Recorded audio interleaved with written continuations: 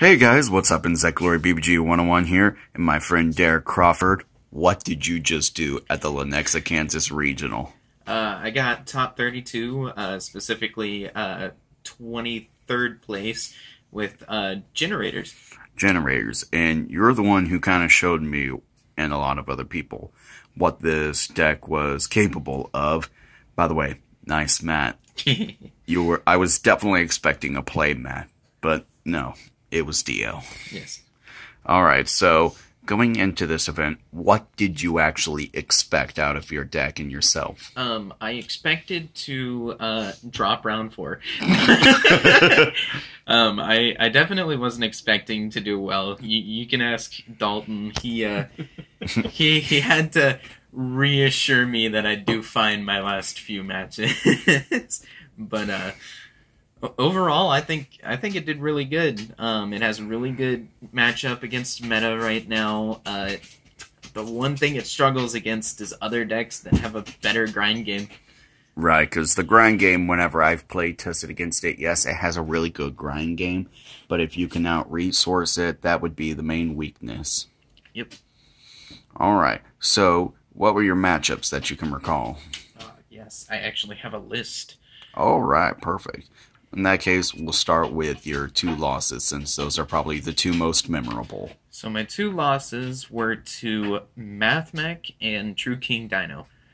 And how'd you feel about losing the Mathmech? Um, I knew I wasn't going to win it because I have no clue what the deck does.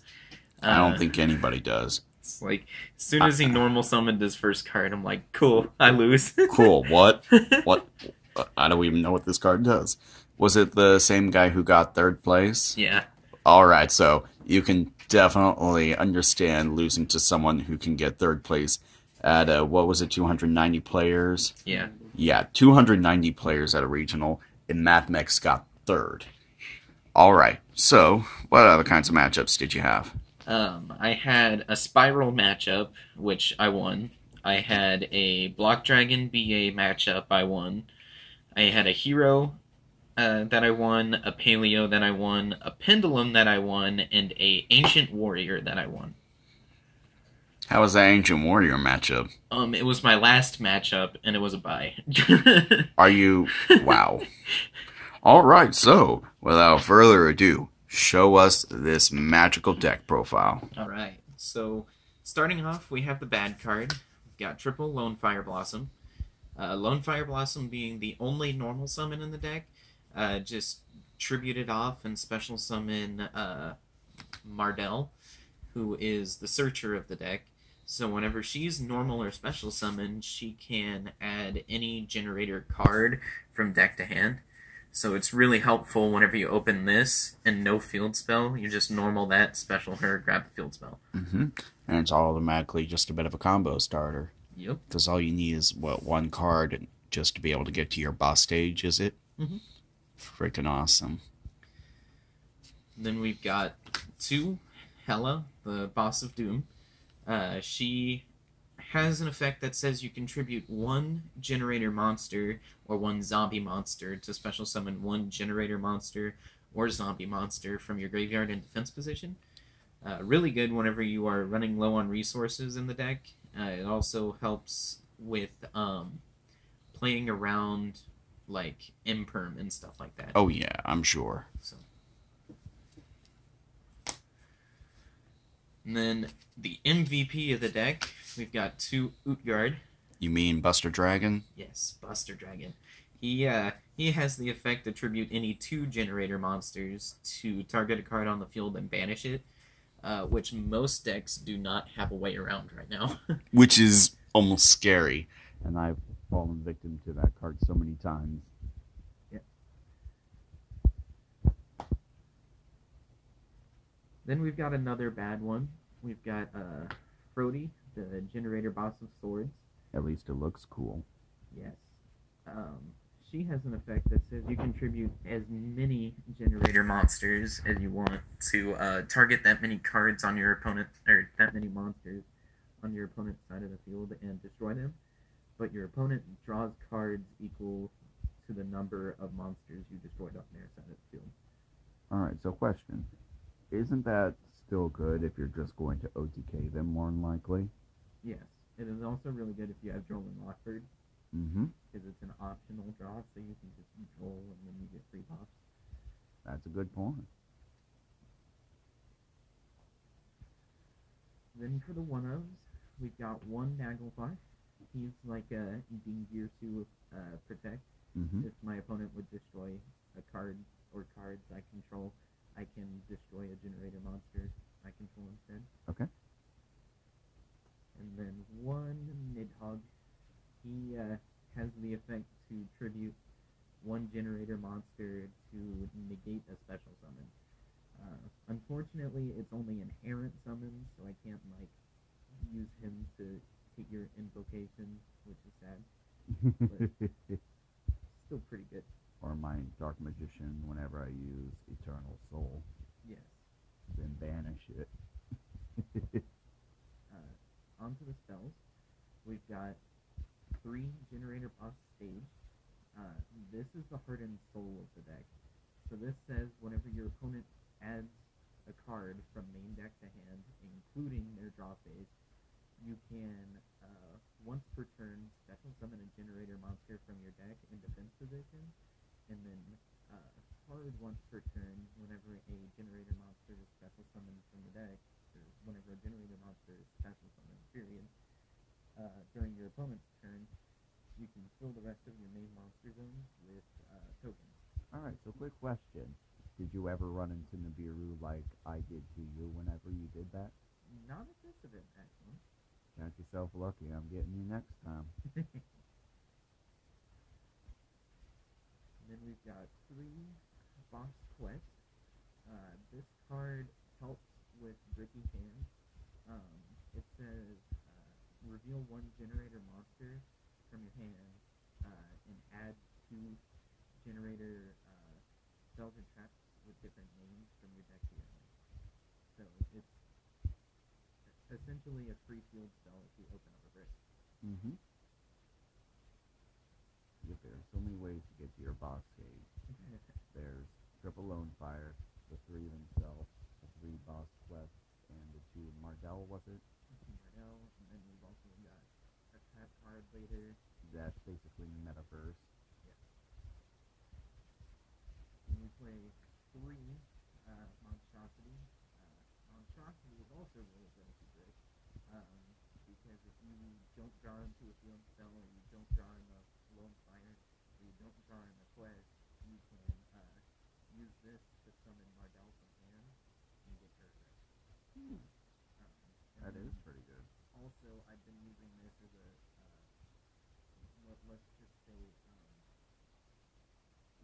way to make many people angry. Oh yeah, it works on me. I can attest to that. I'll, I'll put this off. Oh boy. Uh, then I play three Cosmic Cyclones. which is actually a domestic mine. So quick question, why choose that over format? because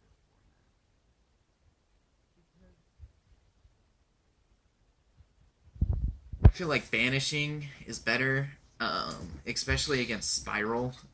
Because if you banish the last res- or the the resort, it, it Mhm. hurts. so I I opted for Cosmic Cyclone over it because health life points don't matter really. Mm-hmm. All right. We may want to pick up the speed a little bit, by the way. Okay. It's running low on space. Uh, three Super Poly because it's Super Poly. Right, kind of self-explanatory. Uh, double extravagance. Um, I didn't want to play three because it was cloggy, and two two has done me well. Hey, I got one thing to say. All I can say is that you're welcome. and now onto the traps. We've got triple boss fight. and that's your metaverse of sorts. This is the metaverse. This activates a Generaider field spell from either deck or graveyard. Okay. Then we've got boss room. Uh, this one essentially says if my opponent would activate an effect in response to any of my Generaider cards or effects, I can discard a card to change the effect of both players draw a card. Um, this saves me from Twin Twisters and Cosmic and Ash Blossom and Ghost Ogre. Anything, any interruption, almost. Pretty much, yeah.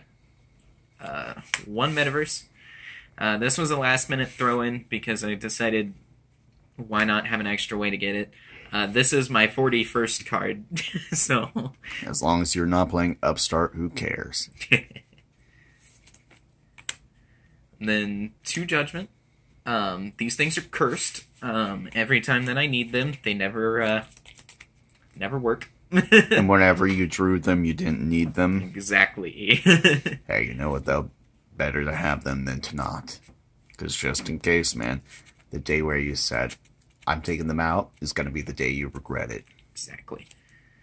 Uh, two dark bribe because um, Yeah, the draw trigger. the judgments are cursed. So I figured why not have some extra spell or trap negates, and then the draw trigger. Right, that's pretty nifty. So Did you I play... metaverse into the field spell, activate this to negate something. They draw a card, and trigger the field spell. All right, so don't tell me your last two cards are the one that negates monsters. no, No. No. Oh. the true spice. Okay, Okay, let's see it. Wonder Xyz. Oh my god. Okay, When'd you throw this thing? Two weeks ago? two weeks ago. okay, so after we last played. Yeah. So the amount of times that I have monstrosity in the Wonder Xyz to go into VFD during their turn, That's ridiculous.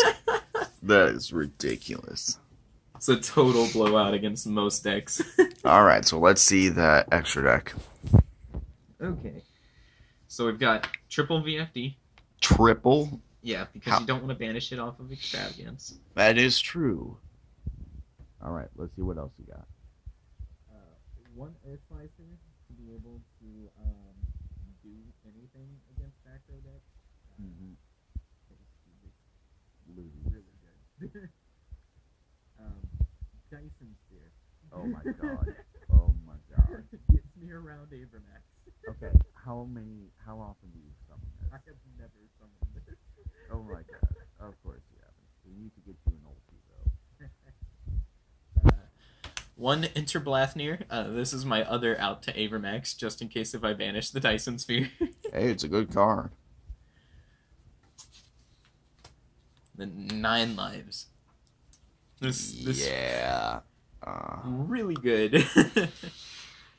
I I wanted to use it to steal somebody's Avramax or like a Borrelsword or anything, It and then never happen. summoned it. gotta love niche cards. uh, now for super poly targets, uh, Starving Venom because it's two darks. Uh, Dragostapelia because Mhm. it's a dark and a fusion. Right, pretty easy this format. Yes. Uh, Brotherhood of the Fire Fist Swan Excuse me? because it is two Beast Warriors and Luna Lights lose. He's right, you know. um, Armorduke, uh, Spirals. Spiral, uh, yeah, yeah. Um, Apkallone because Shaddolls, Right. and And it's a free negate upon summon. it's a free negate. Um, Earth Golem. What do you use this against? This is good against uh, Mathmech. It's good against Adignisters, um, which I, I ended up going against Mathmech. Never drew Super Poly. That sucks. Never ended up going against Adignisters. Alright, so let's see what else you got here. Uh, Mudragon. Uh, just Mudragon. I can use my own monster and their monster because all of my monsters are different attributes. Right, it gives you that flexibility. Yes. And then my singular link monster, board blocker. Of course, because retrieving the field spell is so good. Yes. Now, do you want to do the side? Yep. Okay.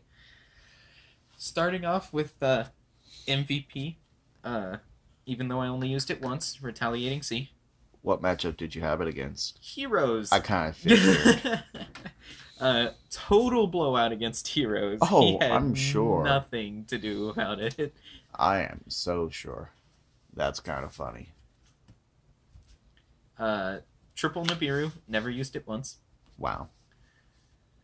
Uh, triple twin, used it once. uh, triple evenly, uh, used it once. uh, triple DD Crow, never sided it. Really? Yes. Huh. Fair enough. And that's it. Yep. So, any changes you would make? Um, whenever uh, uh, Eternity Code comes out, and Loptr and uh, the new level nine boss monster come Oh out. yeah. Oh yeah, that's who. This is gonna be good. And reflecting upon this last event, what changes would you make to it immediately, if Um, any? I'm taking the DD Crows out because I don't feel like they do enough right now. Uh, probably for something that does anything against dinos because Dino is a hard matchup against this. Um, Right, because it flips your monster's face down and then well, not because it them. flips my monsters, because it summons so many tokens, That is true. and uh, Ultimate Conductor can just tack all the tokens for game, and that's That is very much true. so. Well, yeah, that does kind of suck. yeah. All right. So, any shout outs you want to give? Uh, shout out to you for uh, the extravagances. All I can say is that you're welcome. Uh, shout out to Dalton for getting me into the game. Um, shout out to everybody at Locals for uh, dealing with this for two months. hey, you made me want to play it. You made me want to play it. So there's that as well. And I hated this deck upon first seeing it, and I'm just like, okay, okay, now I gotta get me some of this. yes, it is so much fun to play. It, it requires some big brain plays, but Oh, I'm sure. Resource management. yes. You, you gotta keep track of the 10 monsters that you have. Right. so, any final words you want to say? Uh, don't forget to subscribe. Well, of course. Come on. How could anybody forget to sub to me? I'm just a small time Yugi tuber who does it very casually. Alright, well, guys, this has been Inzeklord BBG 101 here with Derrick Crawford. He got 23rd place with Generaiders at the Lenexa, Kansas regionals with nearly 300 players. Ridiculous. Thanks for watching and have a wonderful day.